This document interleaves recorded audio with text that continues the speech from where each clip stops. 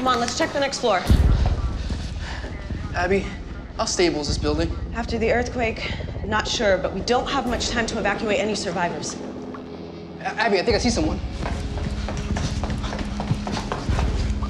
Are you okay? Can you hear me? She's breathing and she has a steady pulse, but she needs to get to the hospital. Call in our position. Uh, my battery's dead. Wonderful. Use mine. Your battery's drained too. You can get up now, Anna.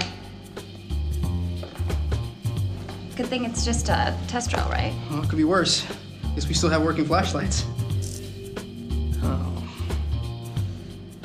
Guys, we have to find a way to keep these batteries charged.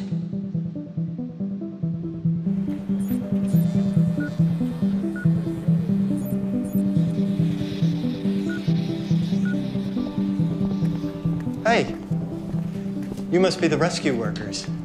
Welcome to the Energy Research Lab. Thanks. So, I hear your batteries died during a drill. Yeah, If it would have been a real emergency, we would have been in trouble. serious trouble. We rely on the radios to communicate with emergency workers like police, fire departments, hospitals. And we don't know how long we're going to be in an emergency situation. We could be out there for a while. It's not feasible to plug your devices in to charge while you're on a rescue mission. No, we can't count on it. We could be out in the wilderness or the power grid may not be working. Hmm. Even if it is on, we may not be in one place long enough to charge it. Okay.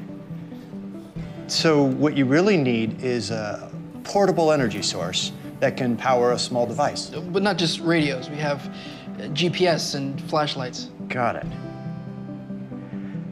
We'll put the team to work and be in touch when we have a few designs. Sounds good. Thanks.